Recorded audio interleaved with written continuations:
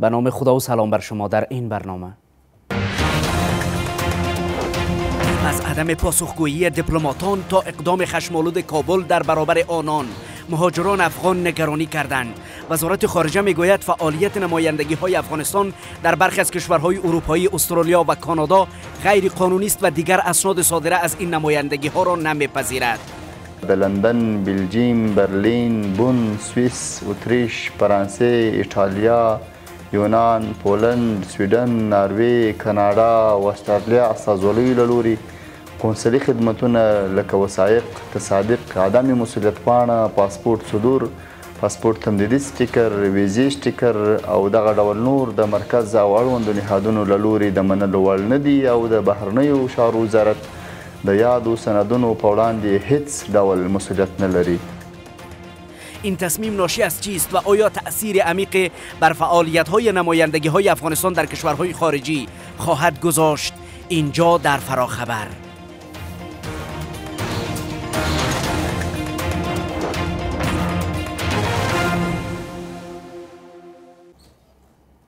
من شمس هستم و مهمانان فراخبر آقایان جاوید مومند استاد دانشگاه اینجا در استودیو و آقای عزیز معارج دیپلمات پیشین از طریق اسکایپ وصل هستند. مهمانان بسیار خوش آمدین. آقای مومند اگر, با شما شروع بکنیم چرا وزارت خارجه ما اسلامی در نهایت این تصمیم را گرفت.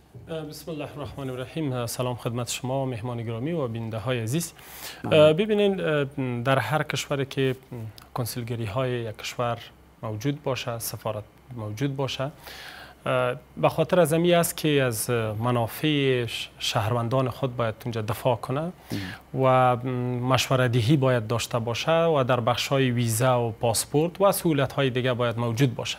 ولی زمانی که نظام گذشته از میان رفت با او شما دیدین در افغانستان هم نمایندگی های کشورها بسته شد. ولی نمایندگی هایی که در کشورهای اروپایی و غربی از افغانستان موجود بود از نظام گذشته اونا نمایندگی می‌کرد. بنان ما فکر می‌کنم که اونا نمی‌تونستن. یکی خویی که کشورهای مطبوع یا مو کشورهایی که در اونجا وجود داره میزبان. اونا با این سفارتخانه های ما شما با کنسلگری های ما شما همکاری نداشتن و نه هم همکاری می‌کردن امرای از اونا. و دومی مسئله دلیل دومی بود که اونا اصلا از کی نمایندگی می‌کردن؟ اگر از افغان ها نمایندگی می‌کرد پاسخگو به کی بودن؟ یعنی هم موجود نبود. بنان یک حرج و مرج یک حالت مبهم موجود بود در جریان سه سال. شما دیدین که افغان ها با مشکلات بسیار زیاد روبرو بودن. نه تنها در کشورهای اروپایی بلکه در کشورهای آسیایی. شما دیدین که افغان های ما با چقدر مشکلات روبرو هست؟ در بخش پاسپورت در بخش ویزا. ما فکر می‌کنم این یک تصمیمی است که اینا می‌خواین که یکی خویی که مشکلات افغان ها باید حل شود. و دوم می حالت مبهم است ولی دو مسئله مهم است آقای مومند. اولی که وقتی نمایندگی سیاسی یک کشور در کشور وجود داره یک خوب نمایندگی سیاسی می‌کنه از حکومت حاکم در او کشور و بس دیگه خدماتی است که باید فراهم بکنه به شهروندان کشوری که به حال نمایندگی ها از او است. در جریان سه سال چطور اجازه داده شد؟ یا در جریان سه سال اینها می‌تونستن خدمات کنسولی را فراهم بکنم اجازه داده شده بود مشکلی هم نبود قابل چالش بود ولی حالا تصمیم گرفته میشه سوی وزارت خارجه ما فکر می‌کنم که از ناچل است. در اون زمان حالات به این شکل بود که اصلا کشورهای اروپایی و کشورهای دیگه حاضر به این نبود که با امارت اسلامی با نظام حاکم گفتگو کنه بله. حتی اینا را دعوت نمی‌کردن. شما ولی شما دیدین که در دوها و در کنفرانس های دیگه اینا را دعوت کردن. حالا ما فکر می‌کنم که اینا همون نظری که در مورد امارت اسلامی دارن بسیار زیاد تفاوت کرده و اینا می‌خواین نظر کشورهای اروپایی که در رأس ایالات متحده آمریکا موجود است. و اینا ولی, ولی برخلاف آنچه آمریکا تصمیم گرفته کشورهای اروپایی او تصمیم را نگرفت. شما می‌دونید که آمریکا سفارت افغانستان را بست و به حال دیپلمات های افغان از سفارتخانه ها و نمایندگی های سیاسی بیرون شد. ولی کشورها عملا پذیرفتن دیپلمات های حکومت حکومت قبلی باید داشته باشین کسایی که در کس کشوری که در رسم باشن حتما یک عکس العمل را نشان میتن ولی هیچ وقت فراموش نکنین که کشورهای اروپایی همشان مستقل هستند بله. جدا از ایالات متحده آمریکا هست. آیسته آیسته می‌خواین که به تدریج این مسئله را حل بسازه و این مشکل حل بسازه. من نظر من است که باید این مسئله روشن شود. دیگر در حالت مبهم نباشه. چرا؟ مشکل برای افغان های ما ایجاد شده. در اونجا اگر افغان های ما اینال است در بخش پاسپورت اینا مشکل داره در بخش ویزا مشکل داره در بخش های دیگه اینا مشکل داره در بخش تابعیت دهی و مسائل دیگه است که افغان ها با مشکلات بسیار روبرو هستند این مسئله باید حداقل حل شوند یک یک راه حل برش سنجیده شود. اگر این حالت باقی ما فکر نکنیم حل شود. حتی شما سوال کردین در جریان سه سالم ما فکر نکنیم که این مشکل حل بود. در جریان سه سالم شما اگر معلومات داشته باشین از کشورهای اروپایی بسیار مردم افغان ها با مشکلات زیادی روبرو بودن. سپاسگزار شما ممنونتون آقای معارج این تصمیم فکر می‌کنین که دستان کسانی که به نمایندگی از افغانستان در نمایندگی های سیاسی افغانستان کار می‌کنن دستان اونا را کوتاه خواهد کرد فشار بر اونا خواهد بود یا فشار بر شهروندان افغان مقیم و کشورهایی که امارت اسلامی تصمیم گرفته که دیگه خدمات قنسولی اونها برای ما قابل قبول نیست. تشکر. نخود سلام برای شما سلام با همکارات تکنیکی و مهمان محترم و شنوندگان بیلگات تقدیم می‌کنیم. پیش از اینکه بیام سر این مسئله که فشار سر کی وارد میشه و ضرر کی می‌بینه. بیام اول این بخش اصولی از این مسئله را یک بسیار کوتاه روشنی پرد بفرمایید. مطابق نور والله وظایف و پروتکل یا پروسیجر داخلی وزارت امور خارجه و همچنان اصول دیپلماتیک و خدمات کنسولی که ناشی میشه از کنوانسیون ویانا 1961 و کنوانسیون شیکاگو 1963 که ایجاد دیپلماتیک روابط دیپلماتیک پیشبرد روابط دیپلماتیک همسانی در سطح جهان نه یا ایجاد کردن. و تمام وزارت خارجه های کشور مطابق از این اصول نامه ها را ساختن. بنا مطابق از این. تمام نمایندگی سیاسی افغانستان کنسولگری افغانستان کمیشنری عالی دفاتر ناظر جنرال کنسولی کنسولگری و هر سطح که نمایندگی سیاسی خارج باشه تمام اسنادهای تقنینی وسیقه حقوقی پاسپورت ویزا و همه چیزی که صادر می‌کنن به خاطر که بعد با کشور میان به ادارات زیرب ارتباط پیدا کنه اصولا از طریق وزارت خارجه میه به خاطر وزارت خارجه وظیفه این داره که تمام اسناد که داخل کشور با بیرون میره از طریق وزارت خارجه و از بیرون اگه میره از طریق وزارت خارجه. بنان اول میرن به ریاست کنسولی وزارت خارجه. در روج سقوق میشن مور میشن تایید میشن بعد از او اعتبار داره به تمام ادارات دولتی داخل افغانستان. بله. پیش از او اعتبار و اگر ریاست کنسولی کار نکنن اتباعی که مقیم خارج هستند پول میتن عقل زمان میتن سند می‌گیرن ای که میان مستقیم بستر محکمه مستقیم به شهرسازی وزارت معرف و این هم برده نمیتن باید وزارت خارجه رو تایید کنن از مور و صحت و سقم سفارت نمایندگی سیاسی. و پول سکوک خود می‌گیرن دوباره میرن به ادارات زیرب قابل قبول است. غیر از اگه پروژه نشه چون مستقیم ادارات رو قبول نمی‌کنه به ماهیت و به مفهوم میشه. یک مسئله بسیار مهم است. اما در شرایط فعلی سفارت هایی که خارج هستند از دولت یا دولت های دولتی که در جمهوریت از این نمایندگی می‌کنن مامورین ارجا تایید او دولت سقوط کرده به تمام ابعادش نه حاکمیت داره بله. نه قلمرو نه نفوذ که اصول یا عناصر دولت است. نداره. سقوط کرد دولت فعلی که امارت اسلامی طالباست این جهان به رسمیت نمی‌شناسه. بله مشکل امی است. خب خب خب امی سوال مهم امی است وقتی که به مردم مشکل ایجاد میشه. یک طرف بسی است که اونها رابطه برقرار نمی‌کنه مو دیپلمات ها با وزارت خارجه امارت اسلامی. اونها دیپلمات های جمهوریت هست از طرف دیگه امارت اسلامی هم خوب کشورهای میزبان اجازه نمیده دیپلماتشان را بفرستد. یعنی تو یک حالت امی تاثیر بر کی می‌گذاره؟ امی تصمیمی که گرفته شده. بر امی دیپلمات هایی که در اونجا هستن و رابطه برقرار نمی‌کنه یا به مردم و شهروندان افغان مقیم و کشورها؟ دو مشکل از طرف دو دولت ایجاد شد یکی دولت مقیم دولت های مقیم که بعد از سقوط جمهوریت باید اجازه ادامه فعالیت نمیده از اصول ببخشید و دولت فعلی که آمده با ای باید تعامل میکردن اصولا بله.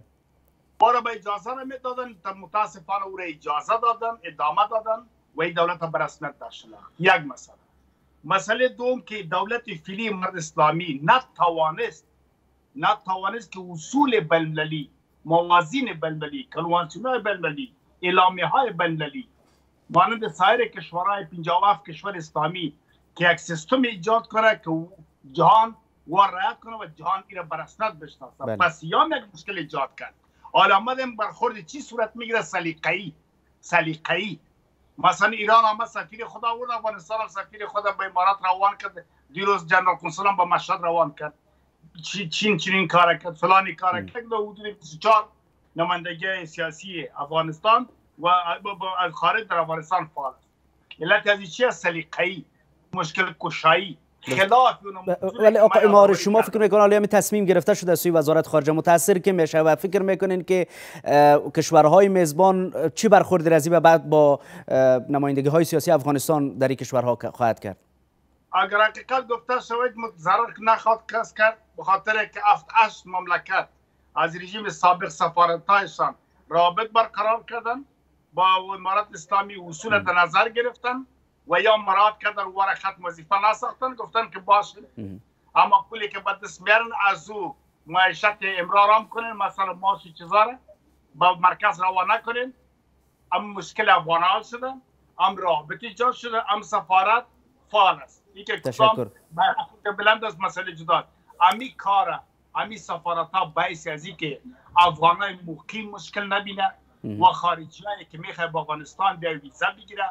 تاجرایی که می‌خواه سرمایه‌گذاری کنن رفت آمد صورت بگیره خطوط که هوایی فعال شود تجارت هم فعال شود صادرات واردات. مراودات به این خاطر باید از دو طرف کنن. سپاس گذارم اجازه تا بدید که مشکل اومی حل شود و مشکلات اومی. حل در اصول اگه باشیم اتباع دیگه چی گناه کرده چی بسیار تشکر. سپاسگزار شما. خب، مومن دو هدف وجود داره. اولی که نباید دروازه نمایندگی های سیاسی افغانستان در کشورها کاملا بسته شود مثلی که در امریکا شد. بس دوم این است که باید خدمات و سهولت ها برای شهروندان افغان در او کشورها که فراهم شود. وقتی یک چنین تصمیم گرفته میشه خب او کشورها نمیپذیرد دیپلمات های امارت اسلامی را. دیپلمات های حاضر که اونها به نمایندگی از جمهوریت در اونجا بوده و در جریان سه سال هم به کارشان ادامه داده راه حل است که اینا رابطه برقرار بکنه باید با وزارت خارجه. مثلا شما می‌بینین وزارت خارجه میگه ما مکررند از نمایندگی های سیاسی و قنسولی افغانستان در کشورهای اروپایی خواسته بودیم که حداقل برای حل مشکلات افغان ها با مرکز در بخش امور قنسولی گفته بوده تعامل بکنین. یعنی نیاز به می است و اونا باید تمکین نشان بده تعامل بکنه راه حل ما؟ فکر می‌کنم که راه حل می است که چون نظام گذشته دیگه از هم پاشیده. نه رئیس جمهوری وجود داره نه وزرای وجود داره نه دولت وجود داره که حاکمیت داشته باشه. بله. بنان ما فکر می‌کنم که دیپلماتایی که امروز در کشورها وجود داره اونا برای هیچ کس پاسخگو نیست. بنان مسئولیت پذیر نیستن و نمی‌تونن مشکلات افغان ها را حل بسازه. راه حل می است که وزارت خارجه فعلی با کشورها در گفتگو باشه حداقل با کشورهای اروپایی با اتحادیه اروپا و با سازمان ملل متحد تا یک راه حل برایش وجود داشته باشه این به این مفهوم نیست که اگر اینا چون قنسلگری اونجا داشته باشه این به معنی رسمیت شناسی باشه بلکه قنسلگری ها بیشتر کارشان وظیفهشان مسئولیتشان در بخش تجاری است و در بخش ویزا و پاسپورت است که این مسائل مربوط میشه به اتباع کشورها. بنان ما فکر می‌کنم که راه حل که گفتگو شوه تا مشکلات افغان ها حل شود. با شما با گف- گفتگو با اتحادیه اروپا میزبان. با کشورهای میزبان. باید راه حل برش موجود باشه. به خاطر که ما چون گفتم که دیپلمات های گذشته مسئولیت پذیری ندارن نه پاسخگویی پاسخگو هستن در برابر کی پاسخگو هستن از کی نمایندگی می‌کنن. بنان ما فکر می‌کنم که یک تعامل باید یک راه حل برش ساخته شود. راه حل می است که اینا قنسلگری های وجود داشته باشه. شما ببینید ایران در ایران جدیدن. امو جنرال قنسل که روان شده فرستاده شده به خاطر حل مشکلات افغان هاست. شما می‌بینید که در ایران افغان ها با چی مشکلات با چی چالش های روبرو هستند پس اونا را مجبور هستند که حاکمان امروزی که مسئولیت وزارت خارجه است. اونا را حل و فصل بسازه. در غیر از او افغان ها را می‌بینین هر روز ظلم و ستم است. بنان اگر نظر من است اگر این مسئله حل شود شاید تاجرای ما که امروز با مشکلات روبرو است تجارت ما شاید رونق پیدا کنه تاجرای ما مشکلاتشان حل و فصل شود. از افغان هایی که امروز مشکلات دارن. بنان اگر اینا این مشکل حل نمی سازه و از این سو شما دیدین وزارت خارجه گفت که ما نمی خواهیم که اون پروسسی که قبلا وجود داشت او را ما نمی‌خوایم که طی کنیم. و مارج مارج صاحب گفت که این باز به وزارت خارجه میره. مجبور است که از وزارت خارجه process شود. بنابراین این معنی که کارشان کار خدمات قنسولی کاملا بسته میشه دیگه زیبات و دیگه مراجعه کننده ای نخواهد بود. بدون شک وقتی که قنسولگری ها بسته شود دیگه کار انجام نمیشه. چون وزارت خارجه کارش انجام نمیده از افغان ها را. و این مشکل بزرگ برای افغان ها پیدا میشه. ما فکر می‌کنم که راه حل این نیست نه برای کشورها نه برای امارت اسلامی. اگر امارت اسلامی کار می‌کنه فشار بالای افغان ها می ولی فکر می‌کنم ظاهرا دیده میشه که امارات اسلامی در نهایت به این تصمیم رسیده. بر همطوری که خودش در اعلامیه آمده گفته بعد اقل ما چندین بار به شکل مکرر از اینها خواسته بودیم که مقصد در بخش قنسولی با ما همکار باشه با ما در ارتباط باشه که ظاهرا این تعامل نکرده کسانی که در سفارت ها بودن. درست است. ما چون قبلا مامانی صاحب گفتم که رای حل می است که کشورها با امارات اسلامی در بخش قنسل، قنسلی باید حداقل همکاری داشته باشه چون این مشکل مشکل مردم افغانستان است. افغان هایی که در اونجا هستند این مشکلات به وجود آورده.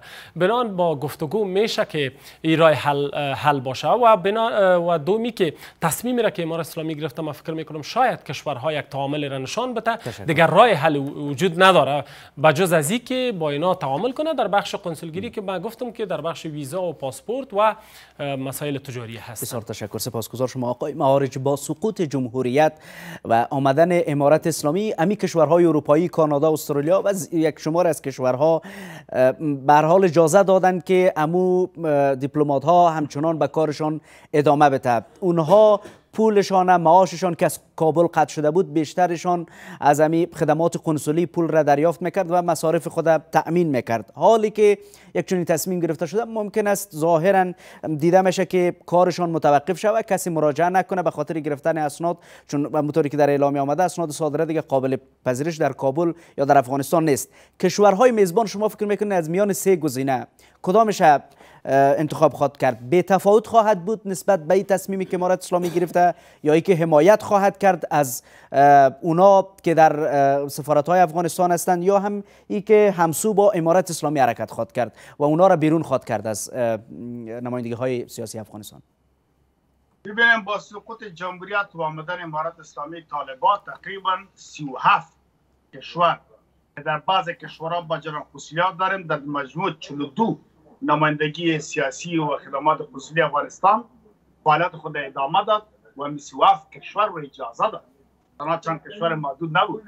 اصولا دولت سقوط کرد بعد برقش پایین میکرد و اسناد و مدارک همیشه با بخش خدمات دیپلماتیک ریاست تشریفات و خارجه تسلیم میکرد. مانه که افغانستان کار میکرد آیا تعیین نشد و می‌دادن مگر این کار نکردن خوب کرد که نکرد به خاطر که مشکل ایجاد نشد آره میام سر اصل مسئله امارت اسلامی افغانستان مقامات امارت اسلامی باعث یک نظام حاکم باعث یک نظام مسئول باعث یک نظامی که وجای و مکلفیت داره که با اتباع خود سهولت ایجاد کنه از اتباع خود عدالت تامین کنه دفاع کنه مثلا. زمین کار تحصیل معیشت زندگی همه چیز مسائل که بخاطر که اتباع و دولت مکلفیت و وجای داره دو طرف مکلفیت است که مالی خود میتن بیعت می‌کنن از فرامین اطاعت می‌کنن نظم و قوانین یا رعایت می‌کنن. دولت هم مثلا حقوق امتیازات داره که همین مالیه بگیره و حاکمیتش باید تطبیق شو از امرش وینوان همینطور از دویشان مکلفیت داره دو طرف. یک تا معامله بین دولت و اتباع مملکت یا تابعین کشور است. بنابراین این رسالت دولت در این رسالت باید دولت سهولت ایجاد کنه دولت فیلی سرپرست اداره.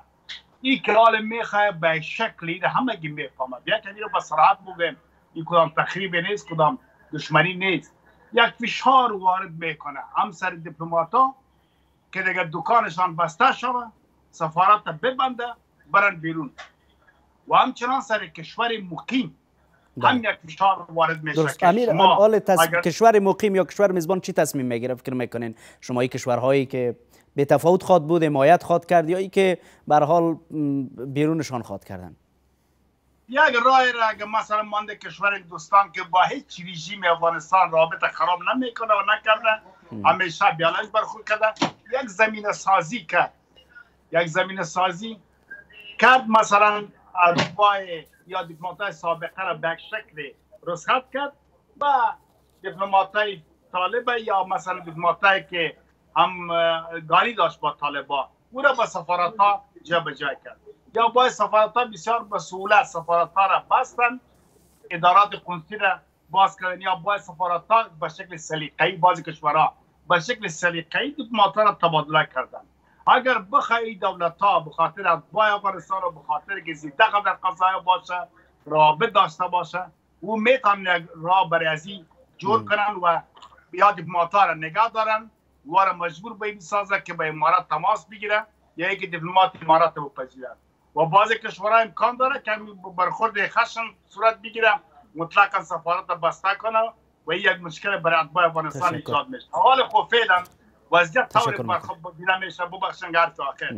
که امارات اسلامی یک فشار سر دولت های بیرونی و سر دیپلمات سابقه وارد می‌کنه که به این شکل را سهولت ایجاد کردن نیست. از یک متد دیگه است کاری. مثلا چی؟ بیا امرای جان بسازه. اصول جانی را مراحت کنن. اعلامی حقوق را رعایت کنن. سیستم اداره بسازه. جان میشه که هم برتر بشناسه. هم دیپلمات ها می‌تونن با سفارت ها برن. رابط افغانستان ایجاد میشه نه با مشکل جور میشه نه افغانستان در انزوا بسیار تشکر. سپاسگزار شما. مومند امارات اسلامی برنامه برای جایگزینی یا بازسازی نمایندگی های افغانستان در کشورهای که مذکور که حالا تصمیم گرفته هم نداره. فقط گفته به جاهای غیر از این جاها مراجعه بکنین. خب این درد سر است دیگه به افغان ها بدون شک باید امارات اسلامی یک برنامه منظم برازی داشته باشه. وقتی که سفارتخانه ها یا کنسلگری ها در کشورهایی که نام برده شد بسته میشه باید رای بدیل برش موجود باشه. اگر رای بدیل موجود نباشه باز هم سردرگمیز بر افغان ها و افغان ها نمی‌تونه مشکلات خود درست حل بسازه. بنان رای حلش ما نظر ما است که با کشورها و اتحادیه اروپا با سازمان ملل متحد حداقل در این مورد صحبت شوه.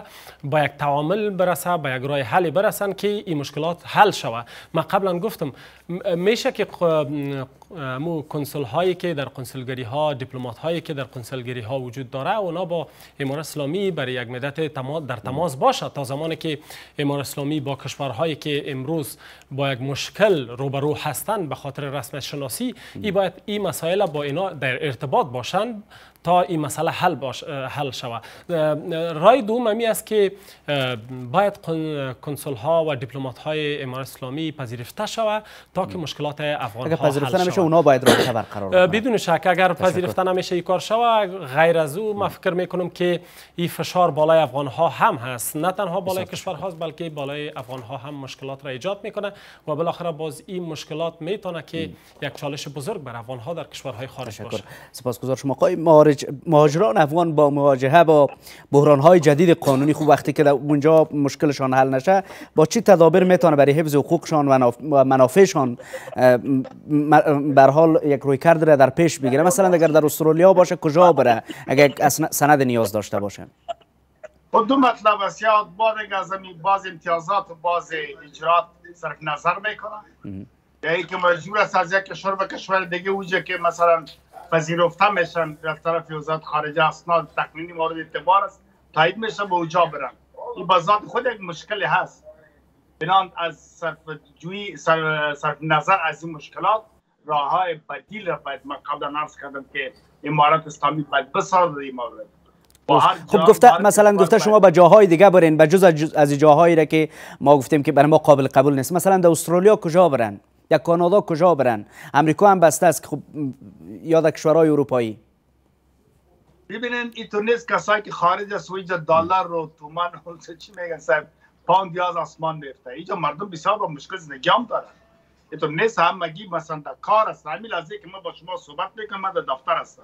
سه بار دروازه باز مراجعی را آمدن گفتن که بالا نفر منتظر است. همگی یا مصروف از صبح تا شام کار می‌کنن. زحمت می‌کشن. تشکر. این تکتی از و رفتن از و اسناد گرفتن از جای دیگه این خودش یک اشاره بسیار چی میشه؟ نفرت مردم دوری مردم از دولت صورت می‌گیره. دولت باید کار کنه که محبت مردم زیاد شود بسیار تشکر. سپاسگزارم فرصت تمام است. بسیار تشکر. آقای عزیز معارج دیپلمات پیشین و آقای جاوید مومند استاد دانشگاه از حضور هر دو مهمان گرامی از شما بیننده ها هم سپاسگزارم. پایان فراخبر.